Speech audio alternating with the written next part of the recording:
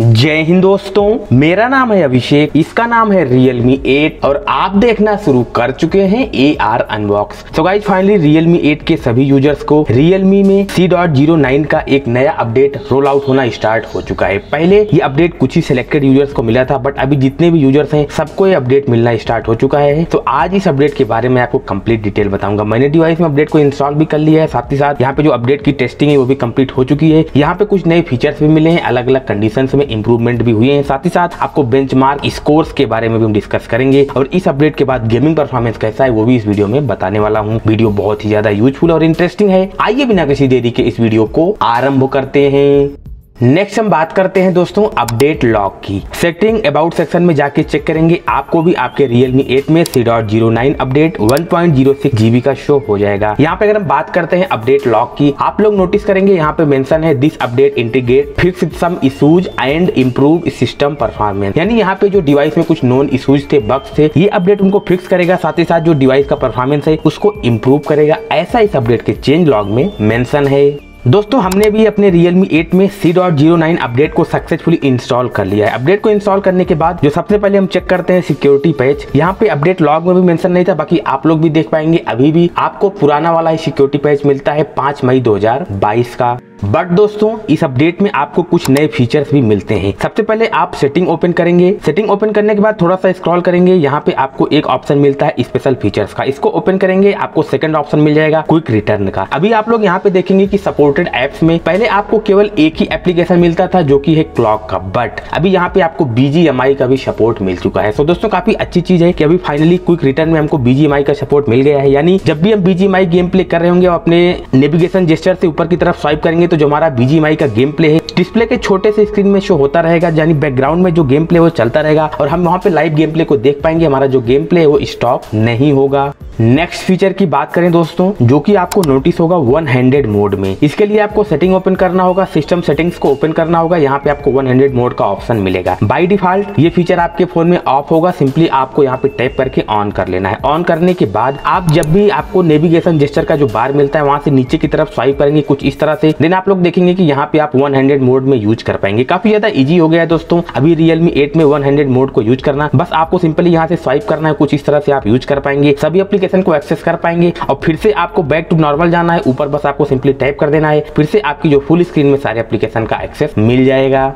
Next change दोस्तों, आपको notice होगा डिवाइस नेविगेशन में। सेटिंग ओपन करने के बाद सिस्टम सेटिंग ओपन करेंगे। यहाँ पे आपको सिस्टम नेविगेशन का ऑप्शन मिल जाता है। सारे फीचर्स आपको पहले भी सेम ही मिलते थे बट अभी यहाँ पे आपको जेस्टर ट्यूटोरियल का भी ऑप्शन ऐड कर दिया गया है। यहाँ पे किसी भी जेस्टर ट्यूटोरियल पे आप ऐड करेंगे, आप लोग देखेंगे कि यहाँ पे आपको कंप्लीट ट्यूटोरियल मिल जाता है। बट फन फैक्ट यहाँ पे ये है कि अभी इस बार ये जो वॉलपेपर यूज़ किया गया है स्पेशली ये मी वाई थर्टीन का वॉलपेपर है, जिसको रियलमी अपने जेस्टर ट्यूटोरियल में यूज़ किया हुआ है। नेक्स्ट हम बात करते हैं दोस्तों C dot zero nine update को इंस्टॉल करने के बाद कुछ बेंचमार्क स्कोर्स की। सबसे पहले हम बात करते हैं एन टू टू स्कोर की। देन अभी आप लोग नोटिस करेंगे C dot zero nine update install करने के बाद तीन लाख पंद्रह हज़ार एक सौ बानवे एन टू का स्कोर आपको नोटिस होगा। But C dot zero eight update में आपको तीन लाख इक्यावन हज़ार पाँच सौ बयालीस स्कोर नोटिस होता था। सो यहाँ पे आपको थोड़ा सा डाउनग्रेड नोटिस होगा। वहीं पर नेक्स्ट बात करते हैं गीक बेंच स्कोर की, जहाँ पे आप लोग नोटिस कर पाएँगे की इस अपडेट को इंस्टॉल करने के बाद सिंगल कोर में आपको पाँच 528 और मल्टी कोर में 1830 नोटिस होता था। But C dot zero eight update की बात करें देन वहाँ पे आपको सिंगल कोर में 527 और मल्टी कोर में 1775 नोटिस होगा। यानी गीक बेंच स्कोर थोड़ा सा और इम्प्रूव हुआ है।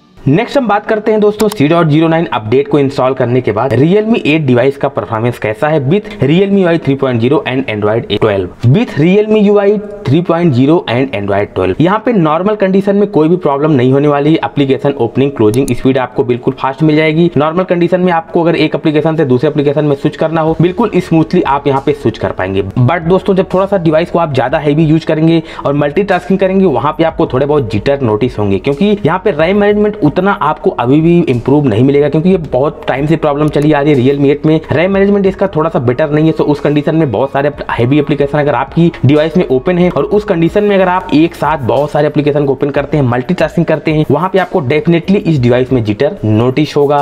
नेक्स्ट हम बात करते हैं दोस्तों इस अपडेट को इंस्टॉल करने के बाद भी कुछ प्रॉब्लम्स की। मेन प्रॉब्लम ये थी कि जब भी हम सिस्टम एप्लीकेशन को यूज़ करते थे, जो कि रियलमी के बाई डिफ़ॉल्ट एप्लीकेशन मिलते हैं सिस्टम एप्स वो पहले भी क्रैश होते थे सी डॉट ज़ीरो सेवन में सी डॉट ज़ीरो एट में और C dot zero nine update को इंस्टॉल करने के बाद भी बहुत सारे सिस्टम एप्लीकेशन अभी भी क्रैश कर जाते हैं। ये चीज़ पहले भी फिक्स हो जानी थी but C dot zero nine update को इंस्टॉल करने के बाद भी फिक्स नहीं हुई है। एक और प्रॉब्लम जो की है लो ब्राइटनेस पे स्क्रीन फ्लिकरिंग का इशू वो भी अभी भी आपको इस अपडेट के बाद भी नोटिस होगा।